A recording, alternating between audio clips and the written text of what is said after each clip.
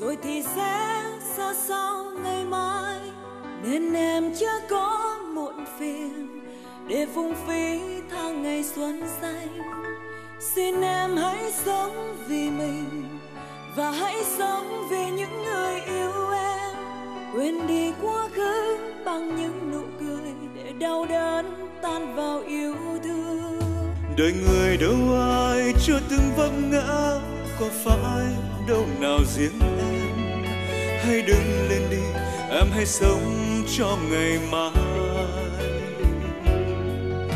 Vẫn còn bao nhiêu niềm vui phía trước, hạnh phúc vẫn chờ đón em.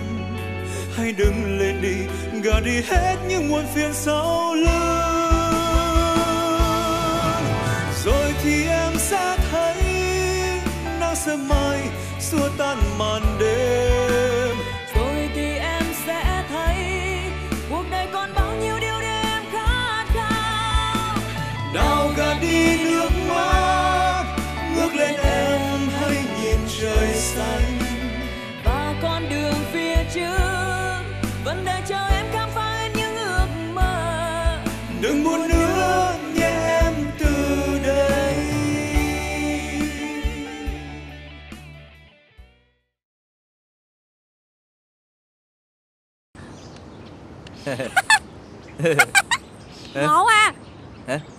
Đồ ngộ à Ờ. vui à bỏ áo trong quần rồi nữa đảnh đỏn à Lâu lâu mới đàng hoàng cho bà thấy cái sắc đẹp của tôi chứ. Bà, gì vậy? Bà cái vụ tối hôm qua đó Đừng có giận tôi nữa nghe bà. Ha nói ha nói tới cái mắt người ta giận lại Thôi rồi mà, à. tôi xin lỗi bà mà. Bà biết không, tại hôm qua tôi nhậu quá đi. Cái đó là rượu nói không á. Vậy ha. Chứ thật sự ai nói kỳ vậy? Bà cũng biết tâm tính mấy thằng xỉn mà.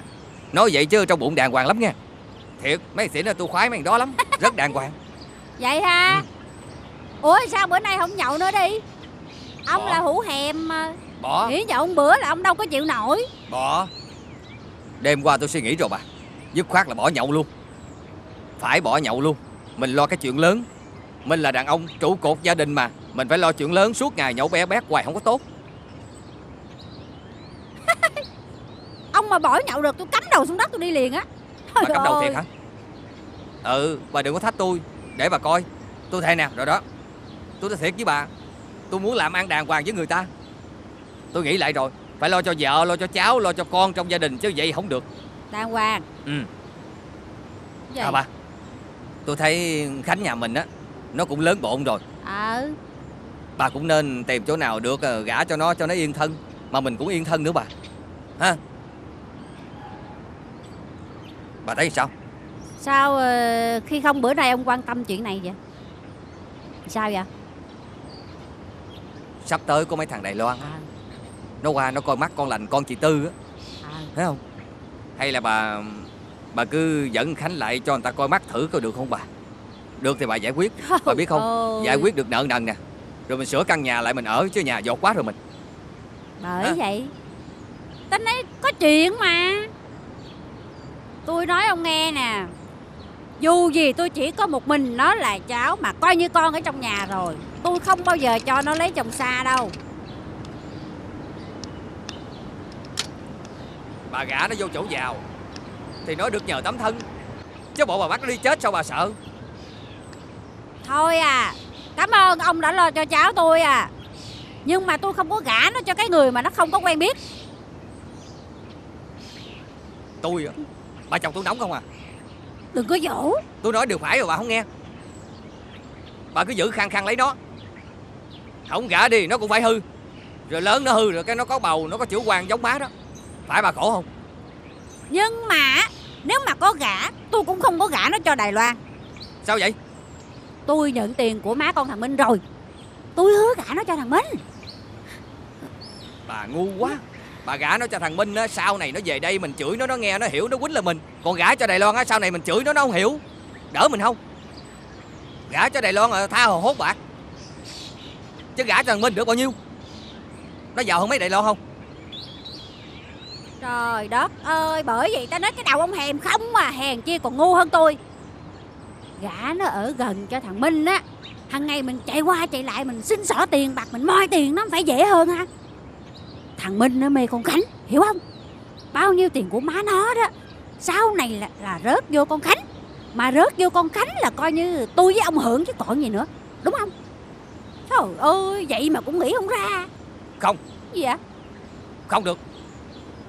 Dù sao tôi nè Tôi có công nuôi con, con Khánh cho to lớn Công sức của tôi. Cái chuyện gả bán cho nó Cho cho cho cho ai á là quyền của tôi Bà không được nói vô để tôi thôi tính à thôi à. Ông nuôi nó được ngày nào mà ông tính? Hả? Không có tôi lăn lộn kiếm tiền mà tôi nuôi á. Có giữa ông với nó chết đói lâu rồi, ở đó mà kể. Tôi nói rồi đó nghe. Tôi quyết định gả nó cho thằng minh rồi á. Nhà đó chỉ có một minh, thằng minh là con thôi. Tiền bạc lại nhiều. Con khánh mà gả vô chỗ đó là coi như chuột sa hữu nếp rồi. Mà nó ở gần mình thì mình được nhờ, đúng không? Bà ngu lắm bà ơi. Gì Bà nữa? nói chuyện bà nói lý không có lý lẽ gì hết á. Bà gả cho thằng Khánh vậy đưa tiền lẻ đưa tiền cắt đưa từ từ. Bà gả cho Đài Loan đưa cục mấy ngàn đô. Phải mình giải quyết được câu chuyện gia đình mình không? Sống phải có cái đầu Đúng không? Sống mà ngu quá đừng có sống. Còn bà cãi tôi. Bà chờ đi tôi nhậu về tôi quậy. Ê! Ủa mấy ngàn đô là nhiêu ta? Hồi nãy giờ mày đứng đây mày nghe hết cái kế hoạch à, gả chồng ngoại quốc cho mày rồi hả Sướng quá rồi còn gì nữa con. Mà nhỏ này kìa nghe. Buồn tao mới khóc. Tự nhiên mày vui mày khóc làm sao? Tối cái đêm tân hôn mà tự nhiên mày khóc kiểu này Rồi chồng mày bó tay luôn. Nó không biết mày vui hay buồn sao để nó chiều à. Dượng Con không lấy chồng Đài Loan đâu? Toàn là mấy ông già khùng Đuôi què mẻ sức mới qua Việt Nam lấy vợ. Con ngu quá. Già có tiền Khùng có duyên. Điên điên thấy phơi phới Thấy không? Cứ lấy đi. Mày lấy đi mày biết giá trị của người ta như thế nào. Tao như mày tao cũng lấy nó à. Nhưng mà ý tao là ý trời. Không được cãi lại nghe không? Chuẩn bị đi học tiếng Đài Loan đi. Để về tâm sự với thằng chồng mày. Tiền đâu mà học chứ? Thì ờ, Thì thì ờ, đi học lớn. Hay là học ké ai đó. Phải biết Phải biết tiếng ngoại ngữ. Đúng không? Biết tiếng ngoại ngữ rồi để nó đòi ăn gì mày cho Chứ để nó nói mày không hiểu cái Nó buồn con à. Như Dượng nè. Dượng không biết tiếng xì la xì lô nào mới nghèo khổ như vậy nè. Chứ nếu không á Thì Dượng cũng xuất ngoại lấy vợ Tây rồi. Hàng ngoại á, Xài Nó phải sướng hơn hàng nội rồi. Thôi Con cứ suy nghĩ lời của Dượng đi. Dượng đi nhậu. Dượng, Dượng, Dượng đi uống rượu Ừ.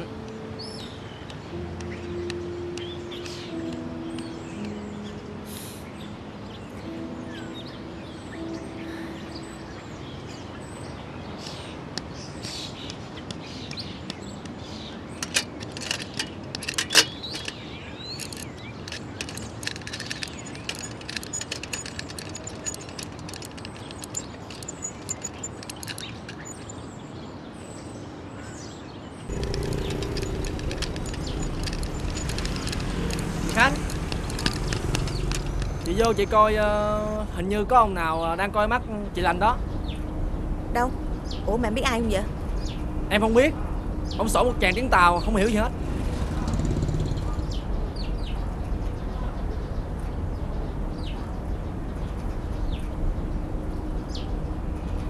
Ông Chen á rất hài lòng con gái anh chị. Nhưng ông muốn anh chị á bớt giá chút xíu. Mấy người nói như vậy là không đúng rồi. Tôi đã giao kèo á là 10.000 đô Ổng cũng đã đồng ý Và cũng đã qua đây coi mắt rồi. Sao bây giờ đòi bớt như vậy?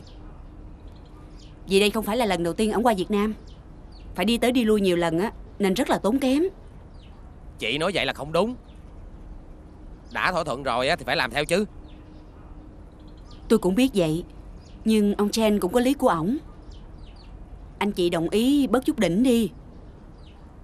Nếu còn chần chừ á Ổng mà đổi ý á Thì coi như anh chị không có được gì hết á Ờ tôi, Để tôi hỏi kiến lạnh đã.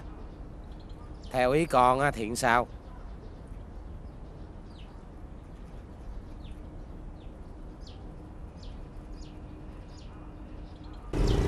Chà Ông đó ông đá cửa ba con lạnh chồng bà chồng.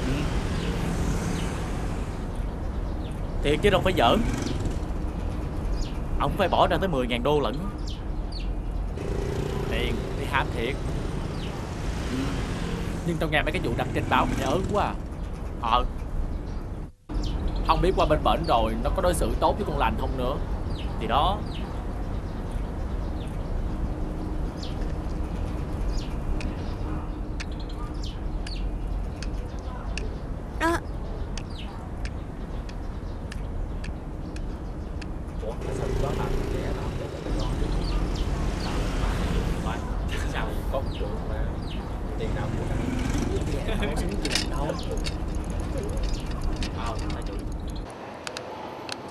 Loan Mày có phải bạn thân tao không? Nếu là bạn thân á thì Cho tao mượn thêm 500 được không? Tháng này tao kẹt quá. Sao bữa mày dưới quê lên á? Mày đeo vàng đầy tay mà Đâu hết rồi. Ui ba cái đó mà mày cũng hỏi nữa. Vàng giả đó mày ơi. Tao đeo về dưới á Để lòe thiên hạ Mày á? Đúng là sĩ diện mà. Với lại không làm như vậy á Thì làm sao ba mẹ tao nở mày nở mặt với hàng xóm chứ? Bữa trước tao thấy á Thằng bồ mày cho mày gần một triệu đâu. Xài hết rồi hả? Trời. Nhiêu đó không đủ xỉ răng nữa. Về quê xài hết sạch bách rồi. Tóm lại là mày có cho tao mượn không? Sao nói nhiều vậy? Mày đừng quên thằng tóc vàng đó là tao giới thiệu cho mày đó nha. Mày cần tiền á Sao mày không xin thằng bồ mày đi? Xù rồi nên mới vả nè. Xui cho mày rồi. Tao có nhiêu tiền á Tao gửi cho bà già tao hết rồi. À hay là Mày à, mày qua mày mượn con Hằng ở chung phòng với tao đi.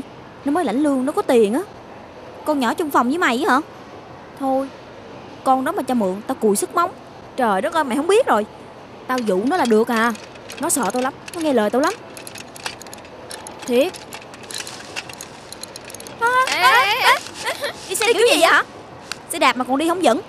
Thì đi bộ đi cho yên chuyện. Tôi phải Tôi phải hỏi mấy người đi đứng kiểu gì mới đúng. Hẻm đã hẹp Mà còn đi hàng đôi hàng ba làm gì? Hẻm này là hẻm của chung Tao muốn đi kiểu gì là quyền của tao. Đúng rồi. Ờ. Tại là hẻm chung á Cho nên tôi muốn đi xe kiểu gì là quyền của tôi Đứa nào không chịu tránh Đụng trúng ráng chịu. Ăn nói kiểu đó mà nghe được á hả? Hèn gì cả cái xóm trọ này Đứa nào cũng ghét hết. Tôi chỉ nói những gì cần nói thôi. Tôi không cần ai thương hết á. Mà nói thiệt nha Tôi cũng không ưa gì á Cái kiểu tự do vô lối như mấy người đâu Thôi Hơi sức đâu mà đi cãi tay đôi với cái thứ nó cho mỏi miệng. À thôi quên. Chị nụ á Ở xóm mình á Là camera của bà Năm á Mày không biết hả. Camera của ai kìa? Chứ với con này hả? Coi chừng á. Đi. Nha nhẹ nhẹ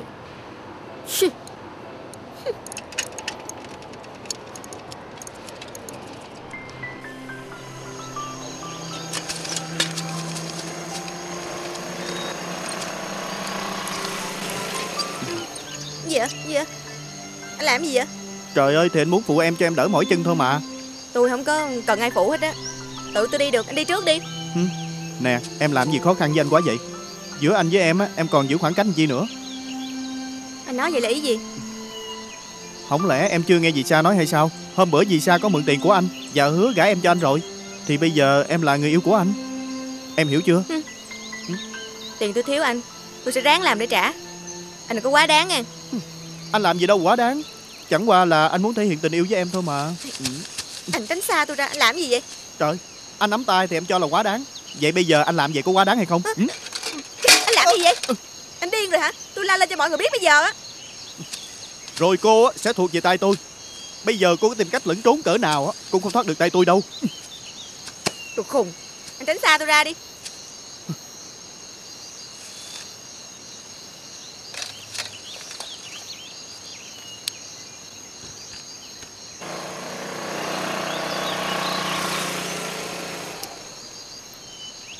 Đồ khùng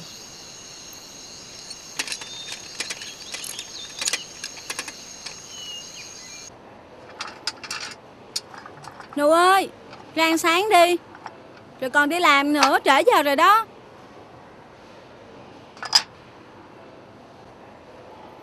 Bữa nay mày ăn một mình đi Tao không ăn đâu.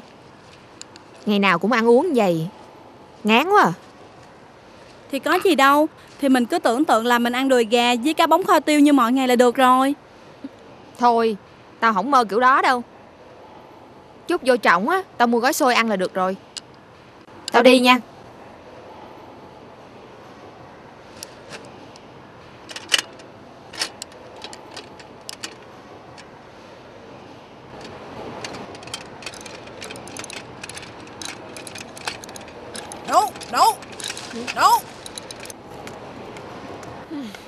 Nè Đi làm hả? Năm hỏi này chút coi. Chuyện gì vậy dì Năm Hổm rại có gì không con? Có gì là có gì hả dì? Thì bữa gì tăng tiền nhà tới giờ á Con có nghe đứa nào nói xấu sau lưng gì không? Dạ con cũng không biết nữa. À mà dì ơi Ừ? Có chuyện này Con không biết có nên nói cho dì nghe không nữa. Có gì thì nói đại cho dì nghe đi Hả Đứa nào mà lén phén cái gì đuổi nó khỏi ở chỗ này nữa đó. Ừ. Con nói đi. Dì Tháng này á Tụi con Quyên nó đóng tiền nhà cho dì chưa? Chưa. Mà có gì không? Hình như tụi con Quyên thiếu nợ nhiều lắm á dì. Con nghe mấy đứa khác nói vậy đó. Hèn gì? Cứ mỗi lần dì qua đòi tiền á Là nó đóng cửa đi miết à. Cái con này. Ừ, ờ, Thôi con đi nha dì. Ừ. Ờ, Mà dì đừng nói là con nói đó nha Con Quyên nó dữ lắm á Biết rồi. Nhưng mà mai mốt có chuyện gì á Nói cho dì nghe nha. Dì không có nói với ai đâu ha. Dạ. Ừ đi đi.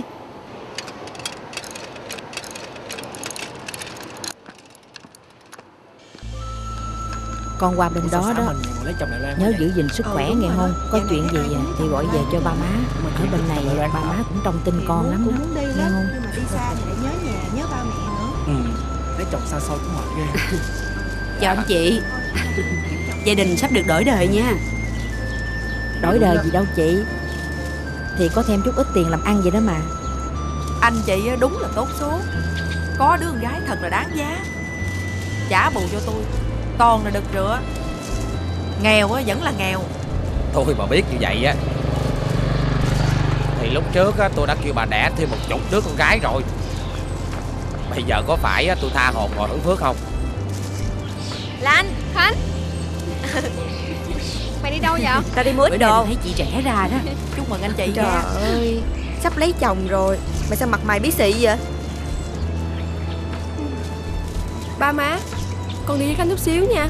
Tí nữa con về. Ừ hai đứa đi đi. Nhưng đừng có giăng nắng nha con. Coi chừng đen da đó. Sao bà không đưa cái vụ cho nó đi? À Tôi quên mất nữa.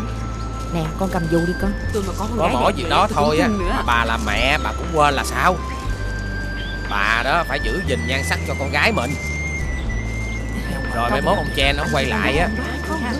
Lỡ ông thấy da con gái mình đen á Ông chê Ông đổi ý. Lúc đó bà tính làm sao? Ừ, Tôi hiểu rồi. Nhất định là tôi không có quên nữa đâu.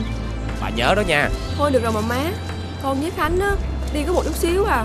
Ừ, Đâu có cần dù đâu Thôi con đi nha. Dạ con chào hai bác con đi. Ờ. Dạ. Ờ tụi con đi đi. Thôi tụi tôi đi về nha. Chào anh chị. Ờ, Chào Chào bác. mọi người. Dạ. Thôi mình đi.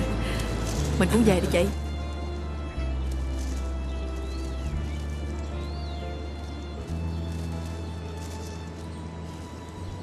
Ủa? Mày kêu tao ra đây nói chuyện hay là nhìn mày uống nước vậy? Thì cũng phải từ từ. Tao uống xong rồi Tao nói cho mày nghe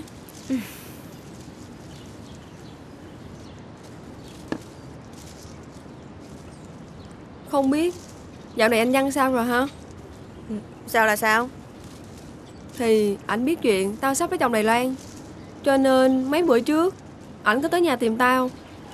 Mà vừa đến nơi á Ba tao thấy chặn lại đuổi ảnh về. Tao thấy ảnh buồn Mà có vẻ giận tao lắm. Cũng tại mày hết. Mày đồng ý lấy cái lão già đó. Hỏi ai mà không giận? Tao nè Tao còn giận nữa nói với ảnh Nhưng mà tao đâu còn cách nào khác đâu.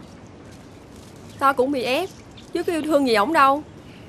Vậy còn anh Văn thì sao? Không lẽ mày không thương ảnh hả? Thì tất nhiên á là tao cũng thương ảnh. Nhưng mà tao biết chắc á Là hai đứa tao không tới với nhau được. Gia đình tao rất nghèo Mà nhà ảnh á cũng chẳng khác hơn bao nhiêu. Nhất định á là ba tao không gả tao cho ảnh đâu. Nói vậy là mày nhất quyết bỏ ảnh phải không nếu mà không làm vậy á, Thì ba má tao sao đổi đời được? Chẳng lẽ ổng bả già vậy rồi Mà cứ làm thuê làm mướn hoài hả? Nếu mày là tao á, Mày có làm như vậy không? Bây giờ tao cũng không biết tính làm sao nữa.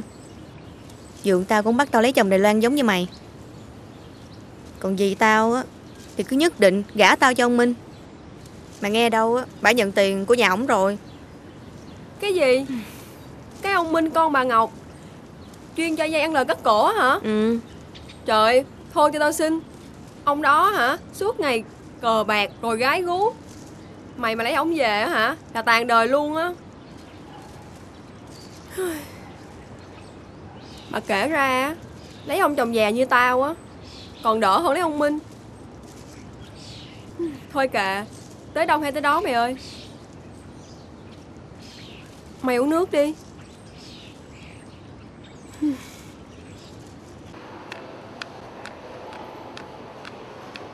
Trời đất ơi Mấy đứa này nó ăn ở mất vệ sinh dễ sợ vậy đó.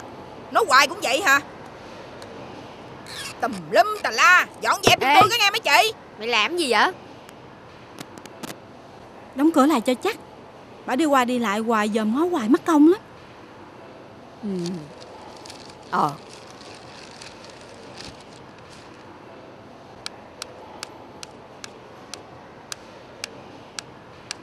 Quyên ơi!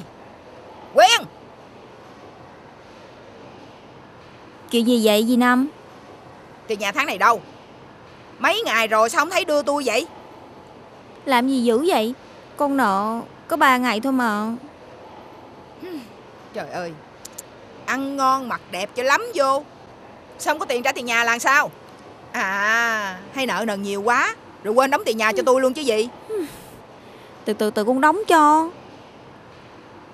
Dì có thấy con thiếu ai lâu bao giờ đâu. Tôi là người lớn Không có nói nhiều với cô. Liệu mà trả cho đầy đủ đó Không thôi tôi cho người khác vô mướn à. Chào dì Năm Ủa, sao vậy? Bị dì Năm đòi tiền nhà hả?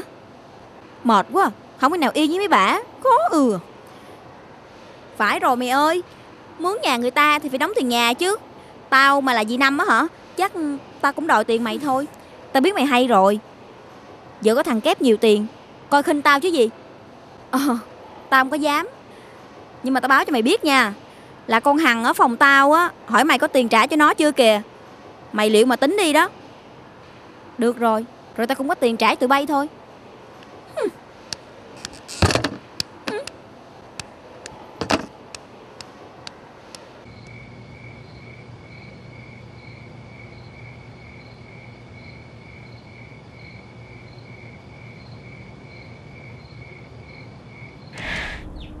Chắc anh Văn anh giận tao lắm. Nhưng mà tao không thể nào làm khác được. Không lẽ mày cam lòng mà lấy ông Đài Loan đó hả Trong khi mày đâu có tình cảm gì với ổng đâu. Tao cũng đau lòng lắm chứ. Nhưng mà ba má tao đã quyết vậy rồi. Tao mà làm khác á Ổng bả cạo chọc đầu tao Từ tao luôn á. Nhưng mà gì thì gì. Tao nghĩ là mày á lên gặp anh Giang một lần Để mà nói rõ mọi chuyện đi. Tối nay anh hẹn gặp mày á Ảnh còn nói nếu mà mày không ra gặp ảnh á Thì ảnh nhất quyết không về đâu. Với lại tao nghĩ á, Biết đâu khi gặp ảnh rồi thì mày lại có dũng khí, Để có quyết định khác thì sao Hử? Mày mà im lặng là mày đồng ý rồi nha Tao sẽ nhắn anh Giang, Tối nay mày gặp ảnh đó nha Nhớ không được sai lời đâu đó Tao về nha ờ.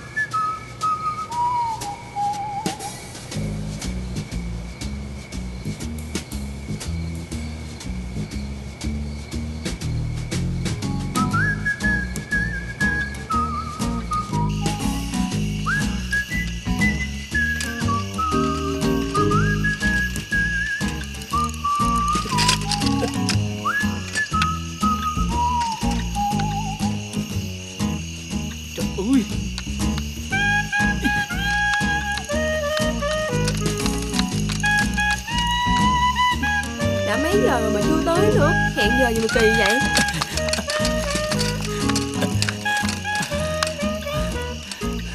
Lành đợi tôi có lâu không? Anh hẹn tôi mấy giờ mà giờ mới tới? Thôi anh đi về đi Tôi cũng về đây. Thôi Lành đừng có giận. Tại xe tôi á Cứ xúc dây sên hoài à. Tôi cũng muốn gặp Lành Cho nên tôi đâu dám tới trễ đâu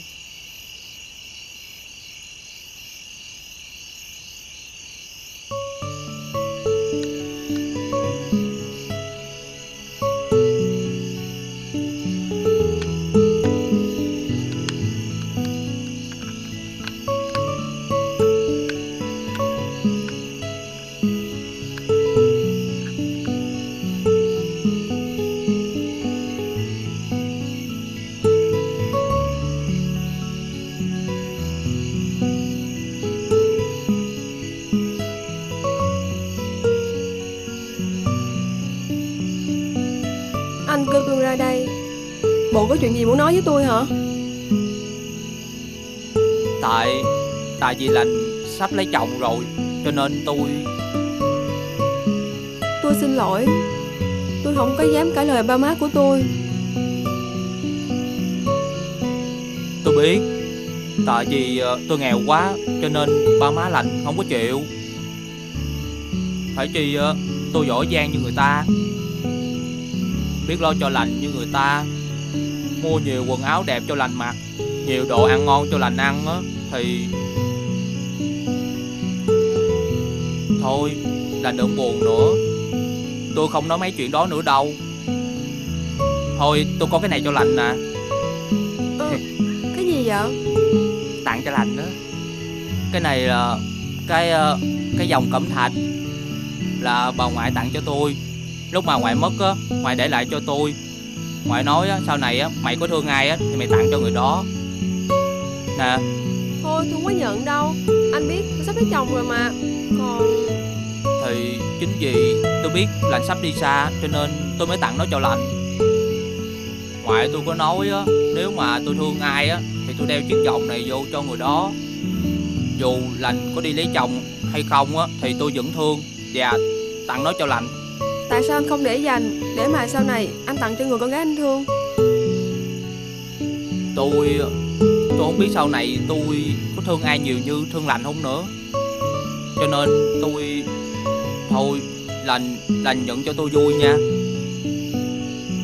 Nè. Chúc lành hạnh phúc.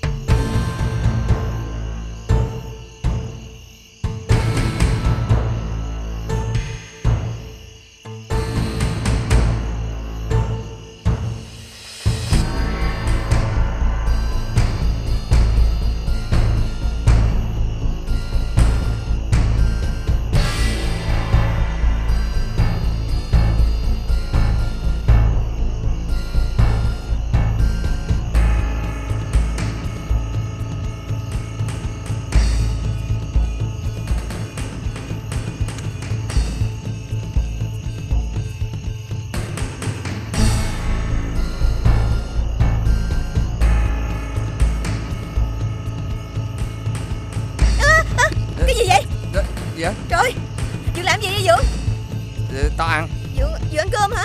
Không tao ăn mày á. Dượng nói gì kỳ vậy? Cái gì đâu kỳ? Con gì nuôi không ăn? Tao nuôi là tao ăn. Gì Cho vậy? tao ăn đi. Ừ, tao- tao- Gì mày- ăn? Gì vậy? Ăn gì? Dì ơi dì Dì ơi cứu Gì con. ăn nhậu tối ngày không đủ hay sao mà giờ này còn đòi ăn là sao? Dượng Dượng ý đồ không tốt? Ê, ê, ê, mày mày đừng nói bậy mày mày nó nó nó nó nó, nó đòi ăn cơm. Ờ. Rồi tôi nói tối rồi ăn gì con nó chạy nó tóc la à quỷ không? Bởi vậy tao nói mày á hỏi chút chuyện gì cũng khóc hỏi chút chuyện gì cũng khóc hết trơn á. Nó à chuyện gì? Ờ nó không muốn lấy thằng minh. Tôi mới khuyên nó vì mày muốn lấy thằng minh thôi mày lấy nó đi. Ừ, rồi cái tự nhiên cái nó chạy là làm tôi muốn xỉu luôn á. Hết hồn. Nè nè ăn nói cẩn thận nha mày nha từ đây trở đi ăn nói cẩn thận nha. Dù gì ta cũng là dượng của mày. Ta nuôi mày từ nhỏ lớn, công lao cực khổ lắm mày biết không?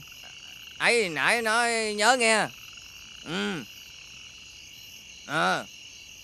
bởi vậy á, tao nói hoài hà. Làm ơn á, sáng sớm cười một cái, tối về cười một cái. Cái mặt cứ đưa đám như vậy hoài rồi làm sao mà hên. Bởi vậy tao xui hoài đó. Hồi trước á còn á quánh lâu lâu còn ăn được cái còn có đồng vô đồng ra. Bây giờ cái mặt nó cứ vậy hoài sao mà ăn được? Thôi đi đâu đi đừng đứng khóc khóc hồi tùm lum bây giờ. Khóc Ừ, hoài. thấy không? Ừ, khóc rồi nó ấy ấy rồi cái tùm lum không có hay ho gì đâu. Đi đi. Nhớ dượng mày nuôi mày nhỏ đó. Thương mày lắm á. Lo cho mày quá luôn á. Nhớ tao dặn nha dượng của mày nha. Nghe công lao tao nuôi mày đó cũng tại bà nuôi kẻ báo cô không à lúc trước bà nghe lời tôi giao nó cho thằng cha đó là xong rồi Trời ơi, bộ ông tưởng tôi không muốn hả? Nhưng mà cái thằng sở khanh nó nó đời nào nó chịu nhận con nó đâu. Vậy mà cũng nói được. cũng tại bà không à Gì tại tôi? đưa má nó tới bệnh viện rồi mà không ép được má nó phá thai rồi mới đẻ ra của nợ rồi bây giờ làm khổ nhà này Ông nói cái gì nghe cũng hay hết á. Nếu mà con Thúy mà nói cái gì nó nghe cái nấy thì nói làm gì? Đâu có chuyện đâu. Tao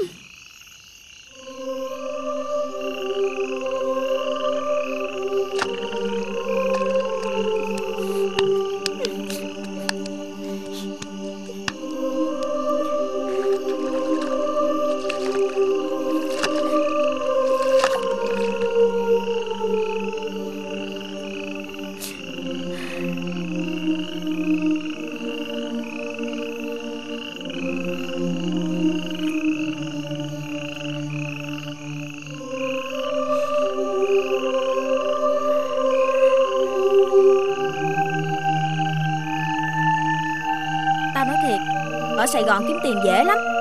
Mày cứ thử lên đó một chuyến đi. Có gì tao bảo kê cho.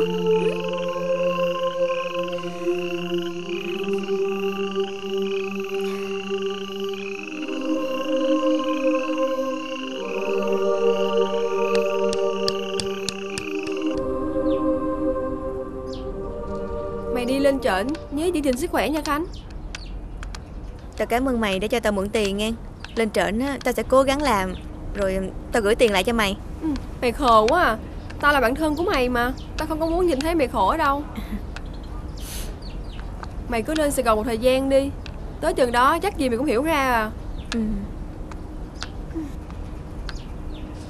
Tao tiễn mày đi xong á Rồi tao cũng phải về. Chứ để ba tao biết Ổng ra tao chết đó ừ. ừ, Mà lần sau mày về á Chắc là tao đã đi Đà Loan rồi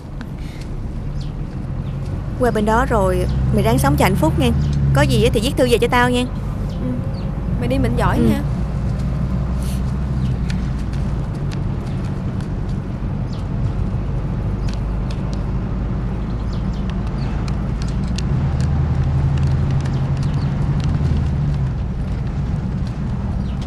Thôi mày lên xe đi, tao về nha. Thôi tao đi nha. Ừ mày đi nha. Mày về đi. Nhớ giữ gìn sức khỏe nha.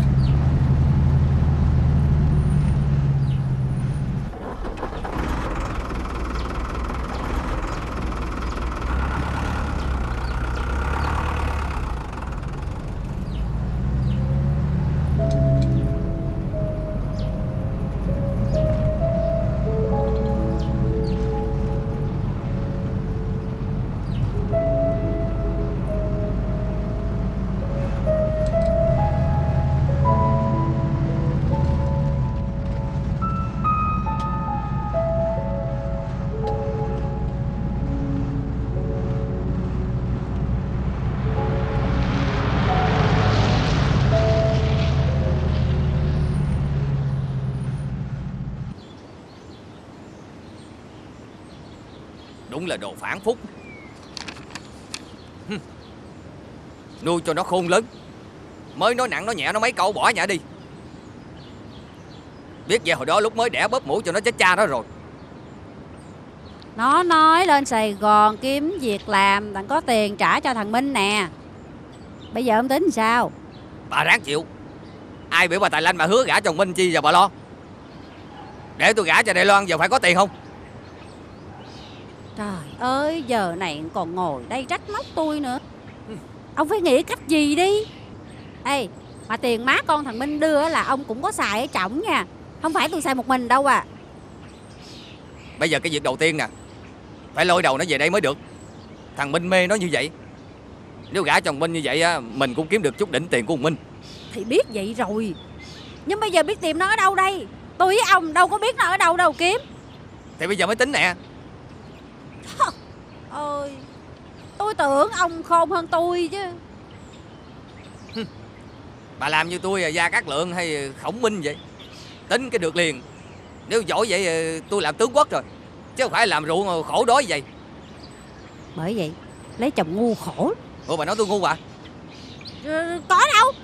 Nói phong long vậy á, Thiên hạ thiếu gì người lấy chồng ngu Phải mình tôi đâu à. Tôi bóp con bây giờ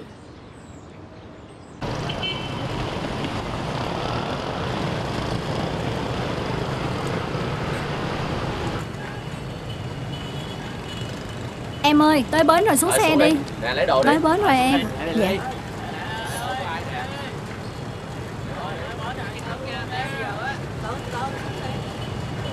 Lâu quá rồi, không biết cái đâu trời ơi. hả?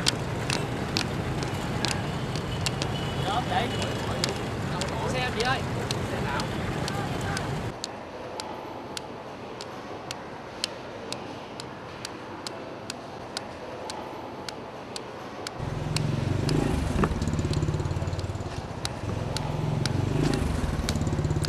Em muốn gì? cho em ly trà đá. Ờ.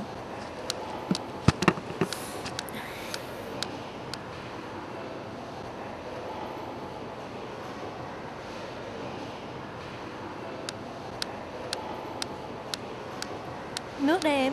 À, Cảm ơn chị. À chị, chị có điện thoại không? Cho em mượn được không? Ờ có. À, Đây nè em. Dạ, bấm nào hả chị? À kéo cái này trượt lên rồi em bấm số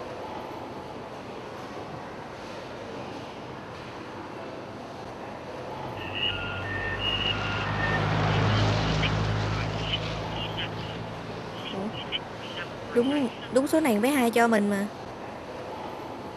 Ừ. Dạ, em gọi không được. Chị, chị cho em hỏi, chị biết địa chỉ này ở đâu không? À em mới ở quê lên hả? Dạ. Ừ, Chị ở đây cũng lâu rồi nhưng mà ít ra đường nên không rành đường lắm. Dạ. Hay là như vậy đi em cầm địa chỉ này đưa cho anh xe ôm bên kia đường để anh chở đi luôn cho tiện. Chứ chị ở đây chị cũng không biết, không rành lắm. Ừ, Cảm ơn chị. À, không dạ. có gì.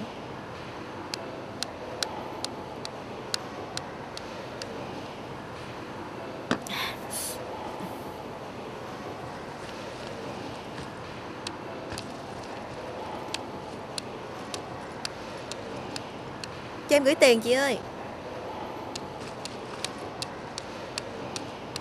Dạ, cho em tới đây. Ờ, lên xe đi. Dạ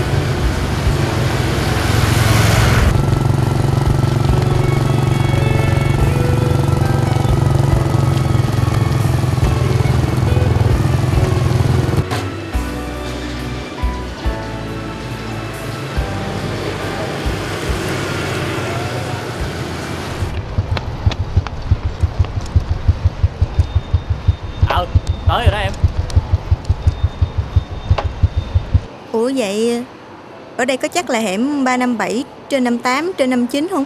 Chắc chắn mà. Trời ơi Cái hẻm số đẹp này Anh chạy qua hàng ngày Làm sao được? Dạ. Vậy hết nhiêu tiền vậy anh? 20 ngàn. Bớt cho em được không? Vậy là rẻ lắm rồi. Ưu tiên cho người đẹp đó. Chứ người xấu à tôi không có lấy giá đó đâu nha. Đã phải chạy xe ôm Mà Để người xấu ôm Thì phí lắm. Ừ, Dạ em cảm Ừ. ơn. Ừ. Nè.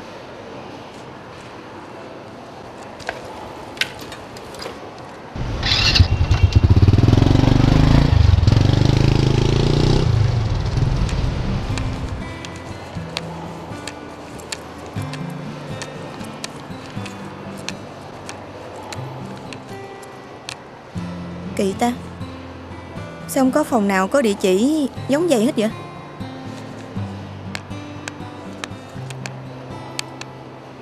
Giờ này mà còn chưa chịu tới nữa. Chị Chị cho em hỏi một chút. Hỏi gì? Dạ Chị có biết địa chỉ này ở đâu không chị? Không biết.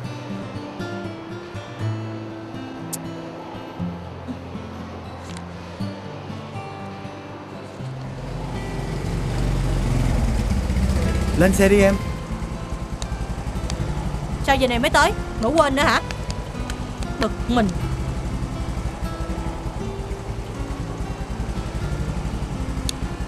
Nhìn gì À. dữ vậy. Đi.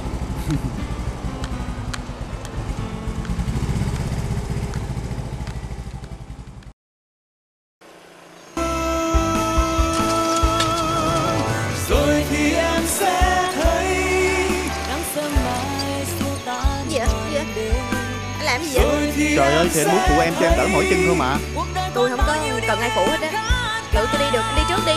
Giữa anh với em á Em còn giữ khoảng cách gì nữa Thì cuộc đời hãy nhìn trời xanh bà. Bà gả cho thánh vậy đưa tiền lẻ đưa tiền cắt đưa từ từ. Bà cho Đài Loan đưa cục mấy ngàn đô. Mà mình giải quyết được công chuyện gia đình được không hồi nãy giờ mày đứng đây mày nghe hết cái kế hoạch gả chồng mày bóp cho mày rồi hả? Sướng quá rồi còn gì nữa con? bà nhỏ này kìa nghe chuẩn bị đi học tiếng Đài Loan đi. để về tâm sự với chồng mày. Tiền đâu mà học Thiệt Đi xe đi kiểu gì vậy hả? Xe đạp mà còn đi không giận. Tôi phải hỏi mấy người đi đứng kiểu gì mới đúng. và con đường phía trước vẫn đợi cho em khám phá những ước mơ. Đừng buồn nữa em từ đây. Cái gì vậy? Gì vậy Trời Dượng làm gì vậy Dượng Ờ, tao ăn. Dượng ăn cơm hả? Không tao ăn mày á